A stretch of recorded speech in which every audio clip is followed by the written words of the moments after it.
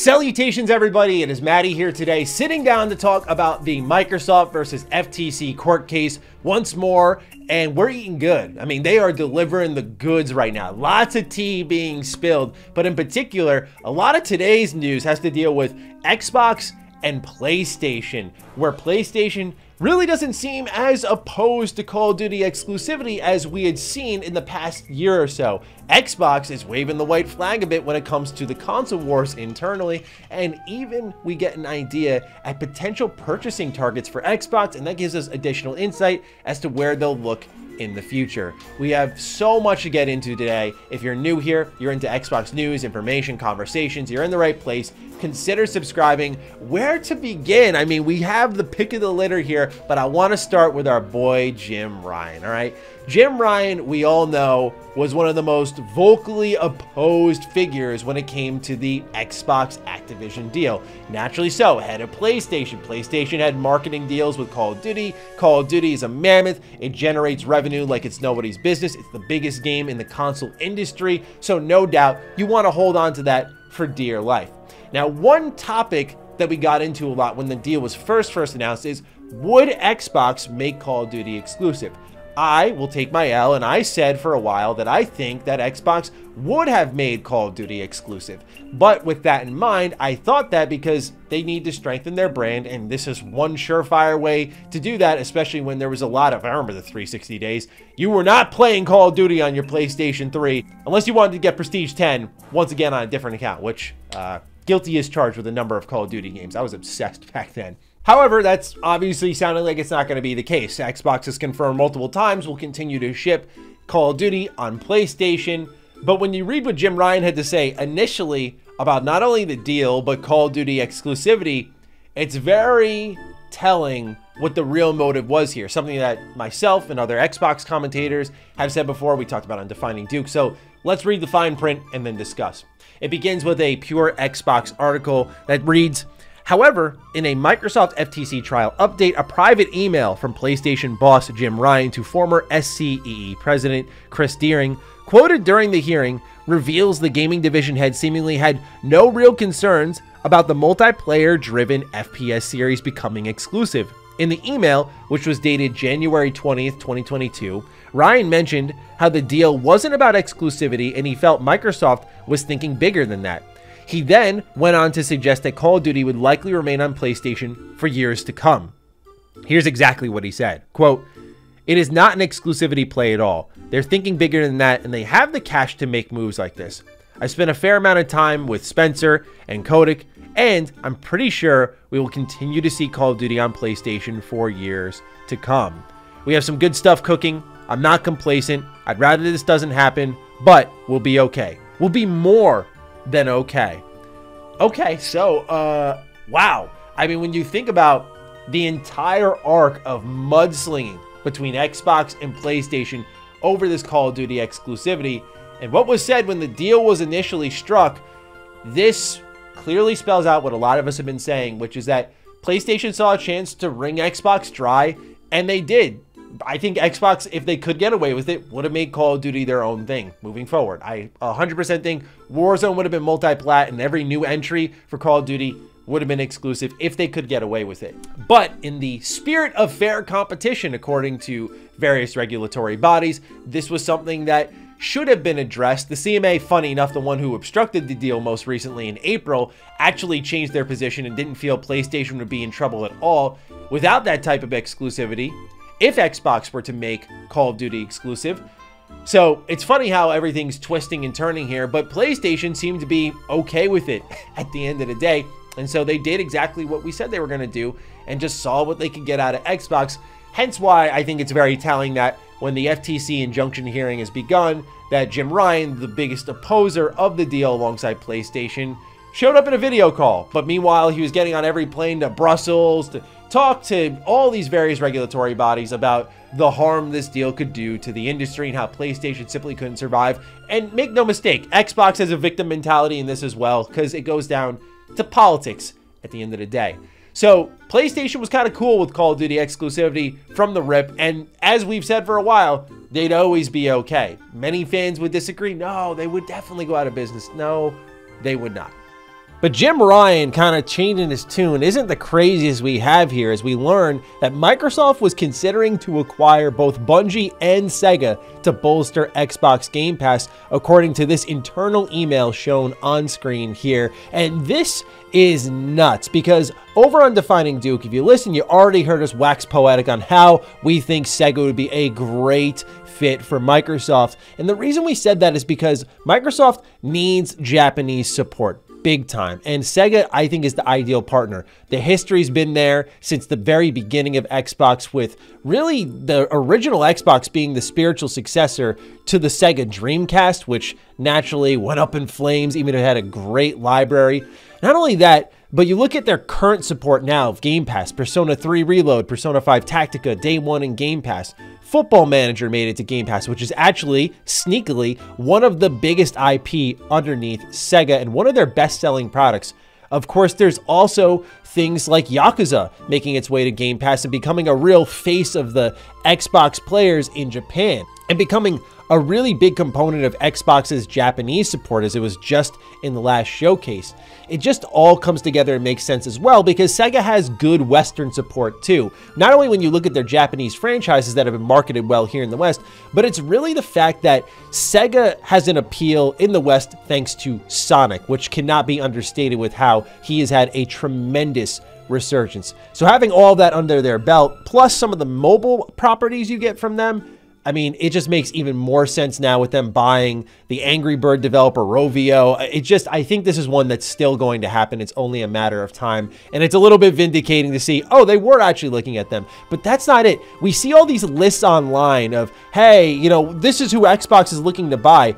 Here's their actual mergers and acquisition final watch list. And it's listed as Thunderful, Supergiant Games, Niantic, Playrix, Zynga, we'll talk about them in a moment, Bungie, IO Interactive, and Scopely.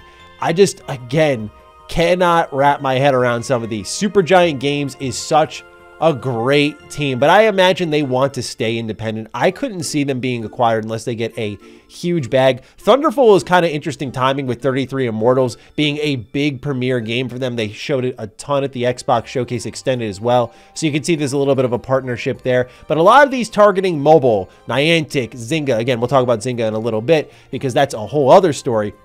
But yeah, Xbox is eyeing down a ton of companies, and we already know it doesn't end after Activision. So this is kind of telling on where they may go. Obviously, Bungie is off the board. IO Interactive, though, developer of Hitman. I mean, I loved Hitman 3. That was my game of the year that year. Uh, just another great team. We heard about Project Dragon potentially. There's also the 007 game coming from them. So uh, just really interesting picks here. And th this to me is the most exciting component of the conversation because we never get a look at this type of stuff. So really awesome to see. But now let's talk a bit about Zynga. How about purchasing targets? We know Xbox is in acquisition mode, and according to this article here, Microsoft says it looked at acquiring Zynga but opted to go bigger with Activision. Microsoft Gaming CEO Phil Spencer testified in San Francisco on Friday that the company previously opened up talks with mobile game developer Zynga but ended up not consummating a deal. A lot of respect for the people at Zynga and what they built. That's such a Phil Spencer line. In the end, for our opportunity, we thought we needed to have something that was even bigger than what Zynga was given our very small starting space in the mobile gaming business. Spencer didn't say when Microsoft was in talks with Zynga, and the company wouldn't provide further comment. However, Zynga said in a filing last year that executives met in 2021 of September with representatives from an unnamed strategic acquirer, which expressed non-specific interest in an acquisition of Zynga. And funny enough, a year before that, in September of 2020, was when Bethesda was purchased. So Zynga, this is a company that was purchased by Take-Two shortly thereafter. At the time, it was the biggest acquisition in gaming. But then Xbox came in right after and got on the phone with Activision in November, and we know what happened. They've now announced the intent to acquire Activision Blizzard. This makes a lot of sense, and it's the, the tough pill to swallow for a lot of Xbox fans that We've gradually learned over time with various comments, Xbox has slowly spelled it out to us. At first, I was right there with all of you. I was very excited about the dead IP that could be revived. I thought of the Call of Duty workshop and the great developers that are stuck just churning out Call of Duty that originally worked on games like Prototype and Singularity and all these fun, unique games now are stuck making Call of Duty. I thought of Xbox being the saving grace, Tony Hawk coming back, Call of Duty, you know, being maybe an exclusive and so on and so forth, right? We all went through that phase, and I think some of that is still possible, the revival of potential IP, but I'm not holding my breath right now given how Xbox is handling currently, I believe, resting IP with Bethesda. I think of series like Elder Scrolls and Fallout, which are in desperate need of a little shot in the arm beyond their current existing live service games, ESO and 76. And we have no updates whatsoever on if Xbox plans to remedy that. So I'm not holding my breath that when they get an even bigger company in Activision, that they're going to manage that portfolio well, which is one of my critiques of Xbox and their acquisitions. The reality is, the deal was made because Call of Duty Game Pass, huge surge annually there. And then the K in ABK that everyone ignores King. Everyone does not talk about Candy Crush and King, and I get it because not a sexy game, not fun for the YouTube conversation, not fun for the YouTube comments. I get all of that, but it is one of, if not the biggest mobile game. And when you get that, you suddenly go from small player in the mobile market to major player in the mobile market, which is why I said Xbox is probably loving that a lot of the conversation is around exclusivity because they're about to make a massive leap in a particular department from small player to major competitor overnight when the deal goes through. So for them to want to go for Zynga makes a lot of sense. Zynga, mobile games, free to play games, monetized products. This is where Xbox wants to go because as we just covered, they're looking at games, accessories as the way they're going to make up ground. And so Activision really does make a lot of sense in that you address Game Pass, you address the mobile hole in the wall. I mean, there's a lot here for them that does get fixed up, which were clear weaknesses for them that now, uh, on top of just Game Pass getting a ton of products in it, uh, you also have major weaknesses being addressed. But Microsoft, as I mentioned, victim mentality of their own, admits that Xbox has lost the console war as it battles for a $69 billion Activision Blizzard buyout.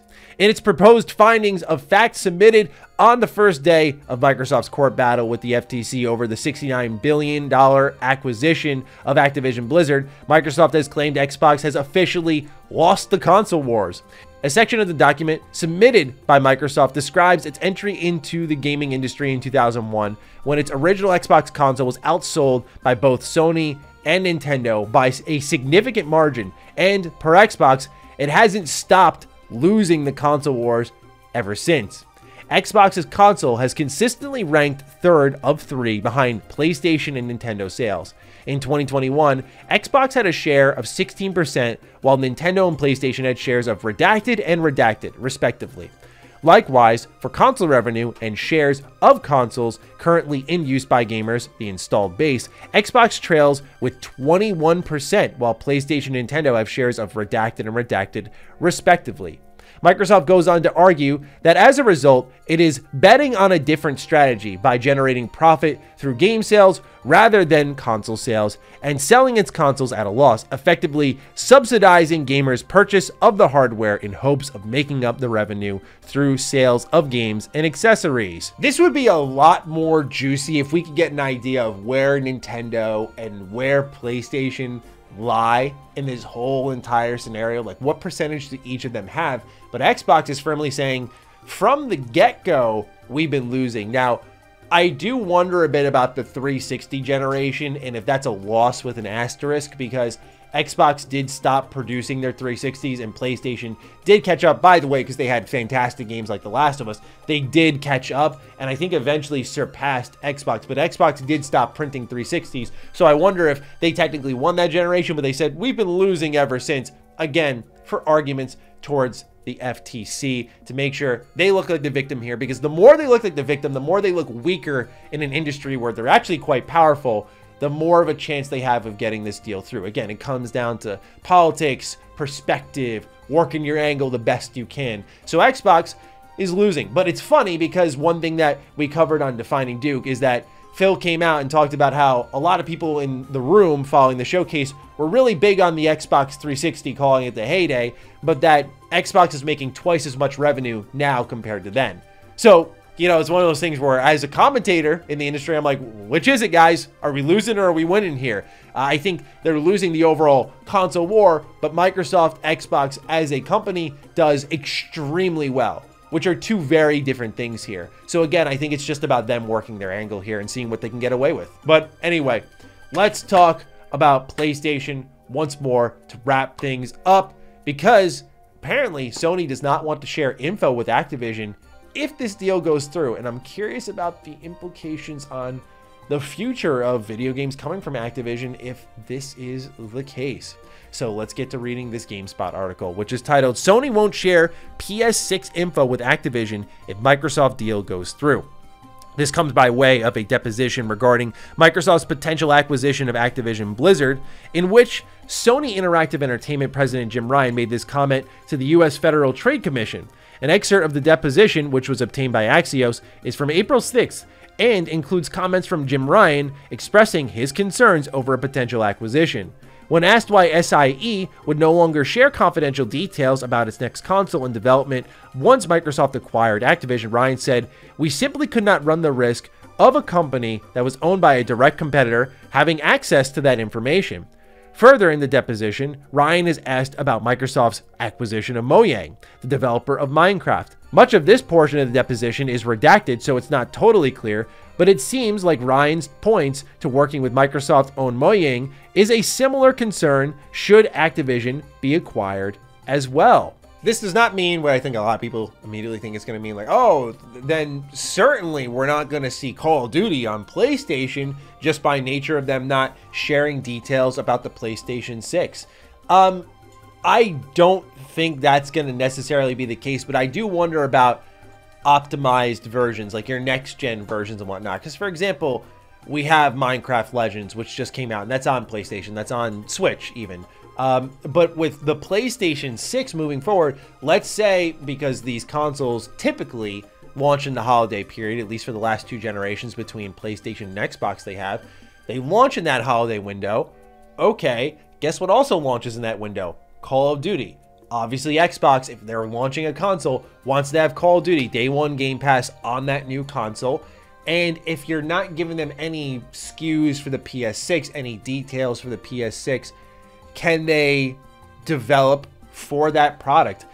I typically lean into my game development knowledge, but I have yet to get this far. So, frankly, I don't know. But I find it, I find myself hard pressed to imagine that this is something that, after all this arguing and how Xbox will never ever skip PlayStation with Call of Duty, that this would lead by PlayStation's decision to Xbox not bringing Call of Duty to the platform. I don't think it'll turn out that way because I think of what happened with Minecraft, where Minecraft doesn't have a next gen optimized version for PlayStation. It's just the PS4 version on PS5. That's probably what will happen is they'll make a SKU based on the PS5 and have to bring a maybe PS6 update later. I'm just spitballing here, but that's my read of the situation. Ultimately very interesting though because this is one step further beyond what we've discussed of like, okay, if this deal goes through, what changes in the relationship? And it seems pretty dramatic, the change. So we'll see. The court case continues on. I'm sure we'll discuss much, much more in the meantime. But with that, ladies and gentlemen, take excellent care of yourselves. Let me know what you're thinking of all of this in the comments down below. Other than that, be sure to follow me on Twitter, follow me on Instagram. Those links are in the description down below. And a big thank you to all the patrons, all the members who continue to support the hell out of the content here. Stay sexy, stay active. I love you all. Peace.